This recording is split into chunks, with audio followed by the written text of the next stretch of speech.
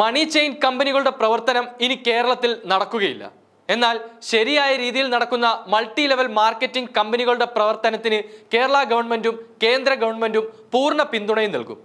മണി chain കേരളത്തിൽ നിരോധിക്കുന്നതിനുള്ള കരട് രേഖ തയ്യാറായി കഴിഞ്ഞു. രണ്ടായിരത്തി പതിനൊന്നിലാണ് കേരളത്തിൽ മണി ചെയിൻ കമ്പനികൾ വ്യാപകമായി വരാൻ തുടങ്ങിയത്. ചുളിവിൽ പൈസ ഉണ്ടാക്കാം എന്ന പ്രതീക്ഷയിൽ അതിലൊക്കെ ചേർന്ന് ഒടുവിൽ പണം നഷ്ടപ്പെടുന്നവരുടെ പരാതികൾ കൂടി വന്നതോടെ പോലീസ് കൃത്യമായി നിരീക്ഷിക്കുകയും ഒട്ടേറെ മണി ചെയിൻ കമ്പനികൾക്ക് പൂട്ടുവീഴുകയും ചെയ്തു. അപ്പോൾ ഉൽപ്പന്നങ്ങൾ മാർക്കറ്റ് ചെയ്ത് ജീവിക്കുന്ന തൊഴിലാളികൾക്കും ജോലി നഷ്ടമാകുന്ന അവസ്ഥയുണ്ടായി. ആ തൊഴിലാളികൾ സി സംസ്ഥാന കമ്മിറ്റിയെ സമീപിച്ച് കാര്യങ്ങൾ പറഞ്ഞു.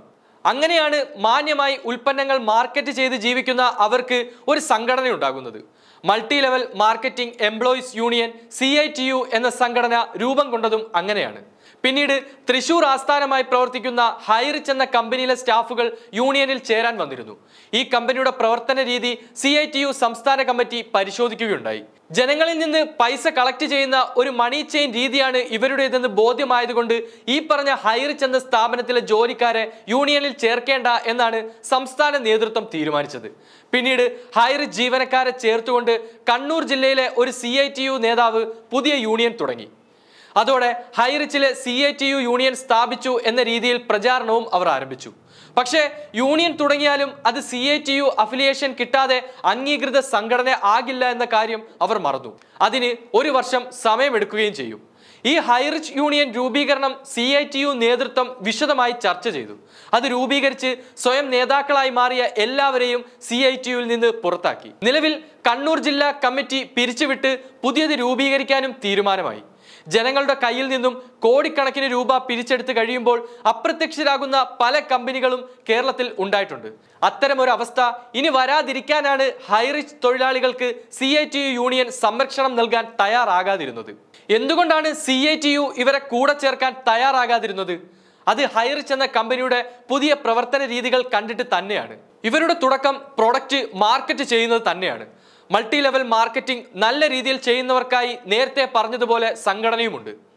Multi level marketing employees union C I T U Highrich തുടക്കത്തിൽ പ്രോഡക്റ്റ് മാർക്കറ്റിംഗ് ആണെങ്കിലും പിന്നീടത് ഫ്രാഞ്ചൈസികൾ തുടങ്ങാനുള്ള അഞ്ച് ലക്ഷം രൂപയുടെ ഇൻവെസ്റ്റ്മെന്റിലേക്കാണ് നീങ്ങിയത്. അതിൽ മൂന്ന് ലക്ഷം രൂപയുടെ ഉൽപ്പന്നങ്ങൾ സ്റ്റോക്കായി നൽകുകയും ബാക്കി തുകയ്ക്ക് ഉയർന്ന പ്രോഫിറ്റ് നൽകാമെന്ന് പറയുകയും ചെയ്യുന്നു. വിചാരിക്കുന്ന പോലെ കച്ചവടം നടക്കാതെ ഈ സ്റ്റോക്ക് പോയിന്റുകൾ ഓരോന്നായി പൂട്ടിപ്പോകുന്നു.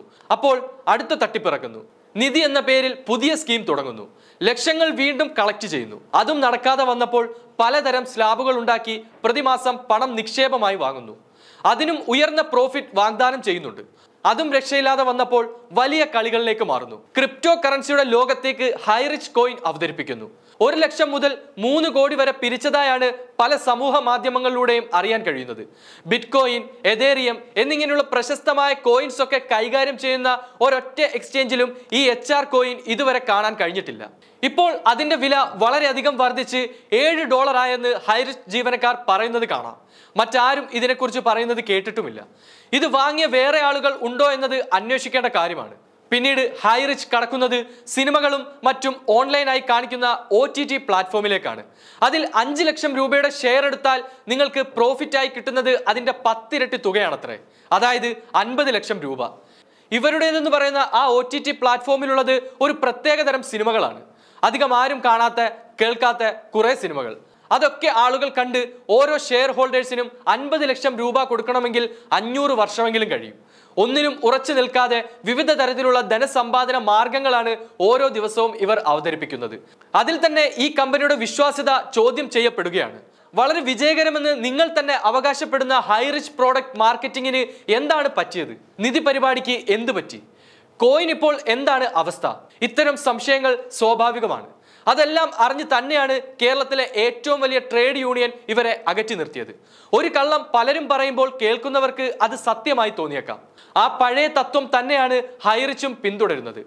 ഈ ലോകോത്തര കമ്പനിയുടെ ഉടമയായ ശ്രീ പ്രതാപൻ എന്നയാൾ മണി ചെയിൻ തട്ടിപ്പ് കേസിൽ ശിക്ഷ അനുഭവിച്ച ആളാണെന്നത് സി ഐ ടി യു സംസ്ഥാന കമ്മിറ്റിയുടെ റിപ്പോർട്ടിൽ പറയുന്നുണ്ട്. ഹൈറിച്ച് കൊടുക്കുന്ന ഏതെങ്കിലും ഉൽപ്പന്നത്തിന് വിലക്കുറവുണ്ടോ? അതിനൊപ്പം എന്തെങ്കിലും സൗജന്യമായി കൊടുക്കുന്നുണ്ടോ? ഒന്നുമില്ല. ഒരു പ്രോഡക്റ്റ് വളരെ കൂടിയ വിലയ്ക്ക് കൊടുത്താലേ ഇത്രയും ആളുകളിൽ ചിലർക്കെങ്കിലും പ്രോഫിറ്റ് എന്ന പേരിൽ എന്തെങ്കിലും കൊടുക്കാനാവും. അല്ലാതെ മുടക്കിയ പൈസയുടെ നാലിരട്ടി ഇവർക്ക് ആരാണ് കൊടുക്കുന്നത്? ഈ ചെറിയ കാര്യം പോലും മനസ്സിലാക്കാത്ത മണ്ടന്മാരാണ് ഈ പ്രസ്ഥാനത്തിൽ ചേരുന്നത്. ഹൈറിച്ചിലൂടെ നേടിയ പണം കൊണ്ട് വില കൂടിയ കാറുകൾ വാങ്ങുന്ന ഫോട്ടോ ഇടുന്നവരുടെ പ്രൊഫൈൽ ഒന്ന് ശ്രദ്ധിക്കുക. പഠിച്ച എൽ പി സ്കൂളിന്റെ പേര് മാത്രമുള്ള ഒരുപാട് എഞ്ചിനീയർമാരെ നിങ്ങൾക്കറിയാം. അക്ഷരം നേരാം വണ്ണം എഴുതാൻ അറിയാത്ത ഒരുപാട് സാറുമാരെ കാണാം. ഇതിൽ ചേരുന്നതോടെ എല്ലാവരും സാറായി മാറുകയാണ്. ഡൽഹിയിലെ സുനിൽ സാർ ജോലി ഉപേക്ഷിച്ച് ഹൈറിച്ചിലൂടെ കോടീശ്വരനായ കഥ നിങ്ങൾക്ക് കേൾക്കാം. ബോംബെയിലെ അനിൽ സാർ മർച്ചന്റ് നേവിയിലെ ജോലി കളഞ്ഞ് ഹൈറിച്ചിൽ പണം വാരിയ കഥയും കേൾക്കാം. എന്തായാലും തുടങ്ങിയവന് അല്പം ബുദ്ധിയുണ്ട്. ഒരുപറ്റം മണ്ടന്മാരെ നയിച്ചുകൊണ്ട് ഒരു കമ്പനി മുന്നോട്ട് കൊണ്ടുപോകാൻ തീർച്ചയായും ബുദ്ധി വേണം. പണ്ട് കേരളത്തിൽ ഒന്നടങ്കം വേരുകളാഴ്ത്തിയ ഒരു കമ്പനി ഉണ്ടായിരുന്നു ആംവേ കഴിഞ്ഞ വർഷം ആംവേ കമ്പനിയുടെ എഴുന്നൂറ്റി അൻപത്തി ഏഴ് കോടി രൂപ വിലമതിക്കുന്ന സ്വത്തുക്കൾ ഇ ഡി കണ്ടുകെട്ടിയിട്ടുണ്ട്. ഉൽപ്പന്നങ്ങൾക്ക് കൊള്ള വില ഈടാക്കി വൻ തുകയാണ് ആംവേ ജനങ്ങളിൽ നിന്നും തട്ടിയെടുത്തത്. പിടിക്കപ്പെടും വരെ ആംവേയും ക്യൂനെറ്റുമൊക്കെ ഏറെ വാഴ്ത്തപ്പെട്ട കമ്പനികളായിരുന്നു. പല ആദരണീയ വ്യക്തികളും ഇതിലൊക്കെ ചേർന്നിട്ടുണ്ട്. ഇത്തരം കമ്പനികളിൽ ചേരാൻ അവസരം ലഭിച്ചതിന് നന്ദി പറഞ്ഞുള്ള പോസ്റ്റുകളും ഒരുപാട് നമ്മൾ കണ്ടിട്ടുണ്ട്. ലക്ഷറി കാറുകൾ വാങ്ങാൻ ലോണിന്റെ ആദ്യ ഗഡു അടച്ച് വാഹനം സ്വന്തമാക്കിയ ഫോട്ടോകളും നമ്മൾ കണ്ടിട്ടുണ്ട്. സർക്കാർ ജോലി ഉപേക്ഷിച്ച് ഈ പരിപാടിക്ക് ഇറങ്ങിത്തിരിച്ച് കോടികൾ സമ്പാദിച്ചവരുടെ കഥകളും നമ്മൾ കേട്ടിട്ടുണ്ട്. ഈ ചെയിനിന്റെ ഒരു പ്രത്യേകത എന്തെന്നാൽ ഒരിക്കൽ അതിലേക്ക് ഇറങ്ങിക്കഴിഞ്ഞാൽ നമ്മളും ആ ചങ്ങലയിലെ ഒരു കണ്ണി ആവുകയാണ്. അടർത്തി മാറ്റാനാവാത്ത ഒരു കണ്ണി. തെറ്റുപറ്റിയെന്ന് മനസ്സിലായാലും ഇതിൽ ചേർന്നു പോയവർ സ്ഥാപനത്തെ പുകഴ്ത്തി പാടിക്കൊണ്ടേയിരിക്കും. അവരുടെ ബന്ധുക്കളെയോ സുഹൃത്തുക്കളെയോ അതിലേക്ക് ക്ഷണിച്ചു വരുത്തും. അത് കഴിഞ്ഞാൽ അല്പം മനസമാധാനം കിട്ടും.